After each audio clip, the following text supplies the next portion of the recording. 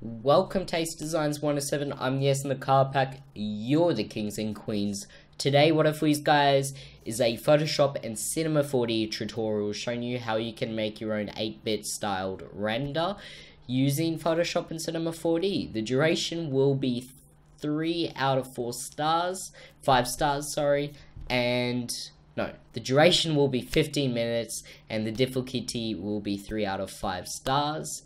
And yeah, hope you do enjoy the video. This is going to be interesting. Let's get straight into it. Welcome to the desktop. This is where the magic happens. We're going to get straight into this tutorial by opening up Photoshop. And hopefully you saw the intro of the video and this is going to be what we are making. I'll just be showing you how to make this render, not the background, but yeah, so it shouldn't take too long and hopefully you can follow along.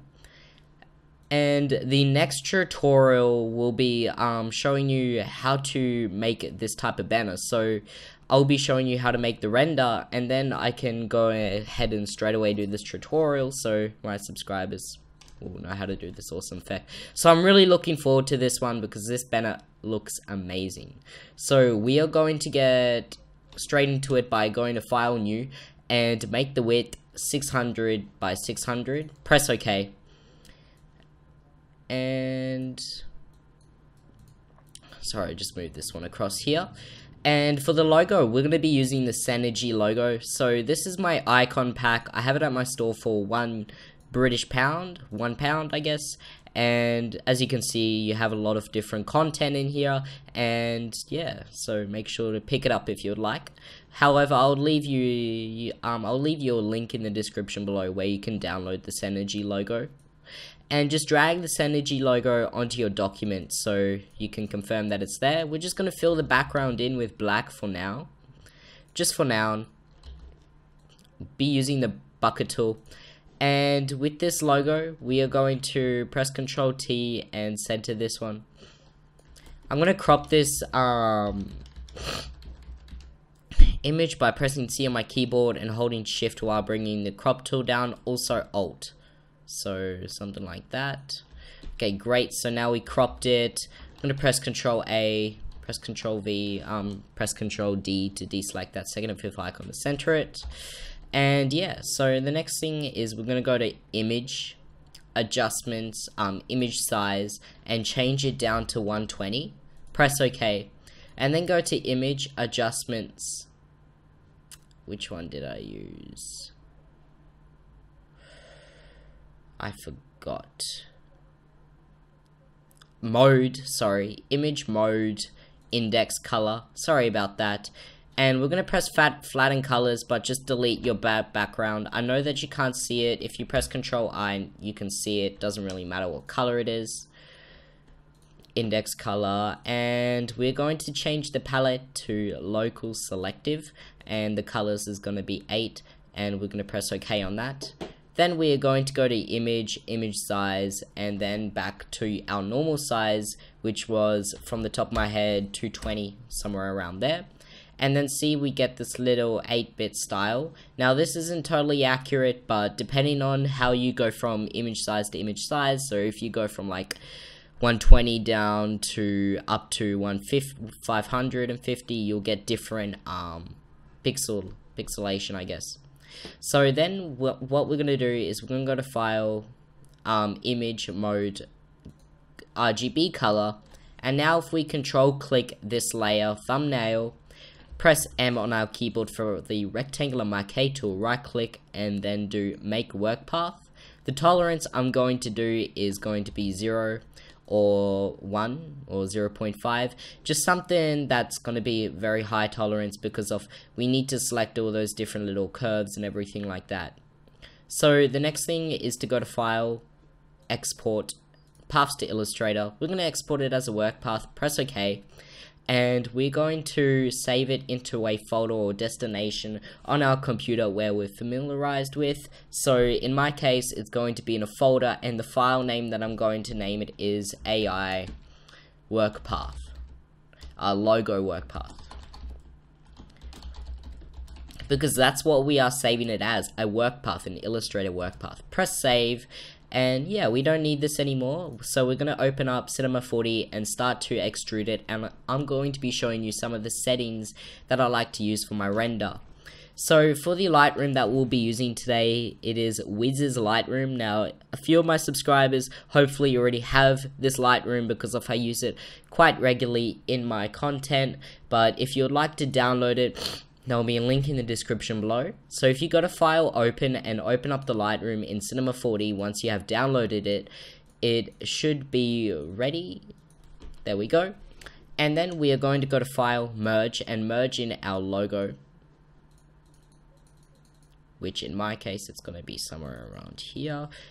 Just merge in that Illustrator work path, make the scale 1, and we're going to press OK. Now go to this camera, click this little box to make it white. This is going to be your camera view.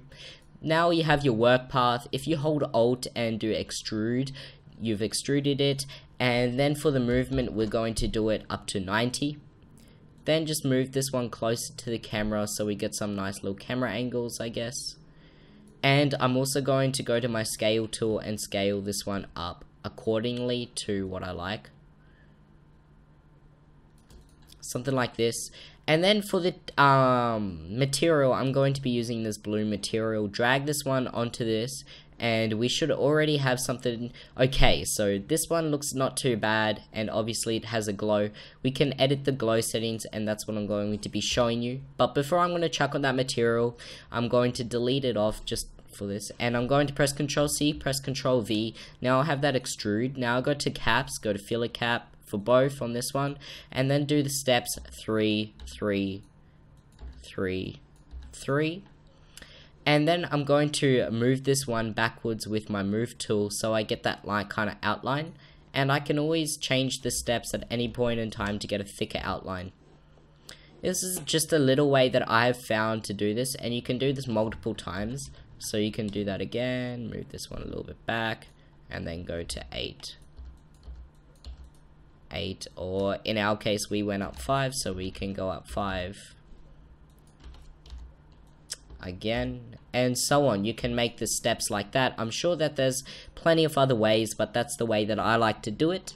So now i'm going to shift click all of these extrusions and i'm going to right click and do connect objects plus delete actually i'm just going to right click and do group objects so then i'm going to just slightly grab up the rotation tool and rotate this one to the side a little bit so i get something like this i guess going and for the backward extrude, I'm going to also go down to the extrusion options if it's going to allow me to. And instead of 200 or whatever, I'm just going to change this one up because of I think that it's a bit too thick. And the same goes with this one. And also this one.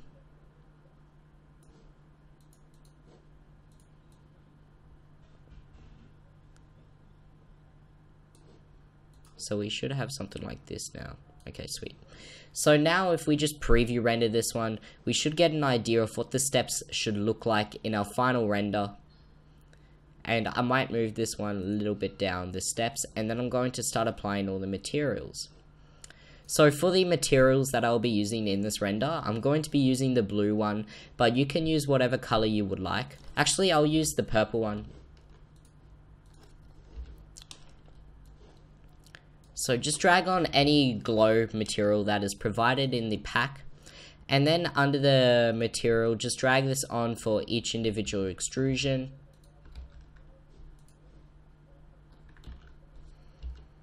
Uh, I guess there's only one way just to drag and drop it. Okay, so now if you preview render that, you should see, be able to see your color. This one's more of a bluish purple. It's not really that purple, but that's okay. Actually, I might do a yellow. Not a green. Ah, that's lime. Sorry.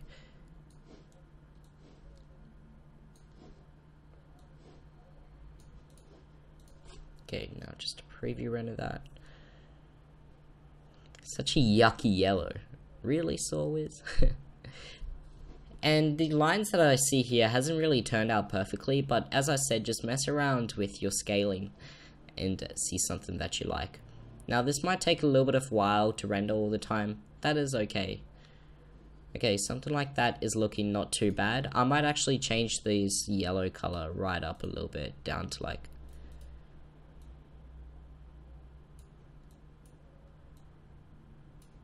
like a real yellow. I know it looks green in this render, but jeez, it takes it time to render. Talk about rendering times. It's not that comfortable for a tutorial because I don't like cutting everything like that. And let's see if we can get to 45 likes on this tutorial. That'll be great, guys. Thank you so much. Actually, you know what? I'll just be using the blue for this one. It's because if I used it before and I know the settings and everything. Okay, so now we have our color onto this one. We need to edit the glow because the glow is a little bit too strong. So go down, right click on your material, go to glow. And we are going to change, just use this as a general outline. We don't have to render it all the time to get an idea of radius. I might change it down to like a 2, it's okay. Now for the outer strength, I'm going to change it down to 55. I think I used that before and for the inner strength 69 or something like that see what I did there guys so then we're going to go to the color right click on this little color here and then you can go to Fresnel or whatever um, when I was learning actually this is a little interesting fact about myself when I was learning um, Cinema 4D, all the pros used Fresnel, but it's okay. I'm going to be using gradient today. Go against the flow, you know what I mean? And with this one, I'm going to just jot down the mix strength a little bit. And I'll be using this as a little bit of a guideline. Now I think this is going to be okay. Maybe something like this. And now if we just preview render that with the glow a little bit lighter and we also have got that like gradient so we should get some a little bit of a grading on this. We should see how this turns out. Hopefully it turns out quite nice And this Lightroom is just immaculate. You can see all the little details and everything like that. And I think it's a really nice Lightroom for free. A lot of designers use it in the community currently. So yeah, that's a very nice little subtle thing. I think the glow is a little bit too um, light and I'll turn off the reflection. I might turn up the glow a little bit.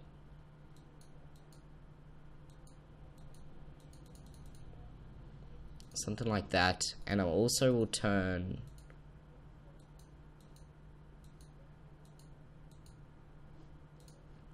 up that. So now if we just preview render this this is how you really have to work with your renders especially if you want to get something like what you're really happy with. See like this one I was really happy with that but I spent a lot of time little tweaking and everything.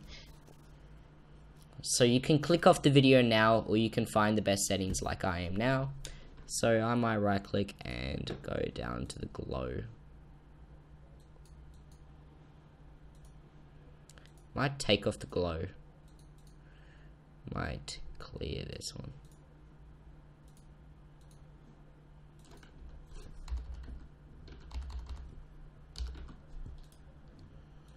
So now if I just preview render this one, hopefully it's not going to take too much longer. I should have just memorized the settings. That would have been a bit easier. no. But yeah, you could edit this render in Photoshop, which I would recommend, like making a new layer above here. Um, going up to your brush tool, changing up the size, I guess, to a little bit like this, and then just click oh, hardness and shift click on that one, control click and then just like make little adjustments according to the like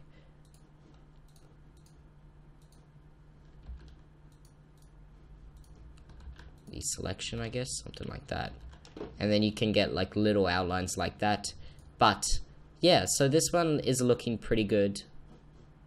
I guess it's very similar to this one. I might just right click and just bump down the settings a little bit so like 80 on this one and I'm also going to change up the color to something a little bit brighter.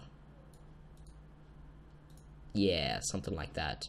And yeah so that should be the final effect. And obviously you can go ahead and put this onto a backing and just straight away use this as like a wallpaper or whatever you like especially if you're a big fan of retro to 8-bit style things. But yeah thank you for watching this tutorial. If you did please hit a like. And also subscribe if you haven't already and go down to your settings of this render. For the settings, just do 1920 by 1080p resolution 300. Save it to wherever you would like. The format's going to be PNG. The outer glow we're going to apply. Also global illumination, ambient occlusion also on. And for the um,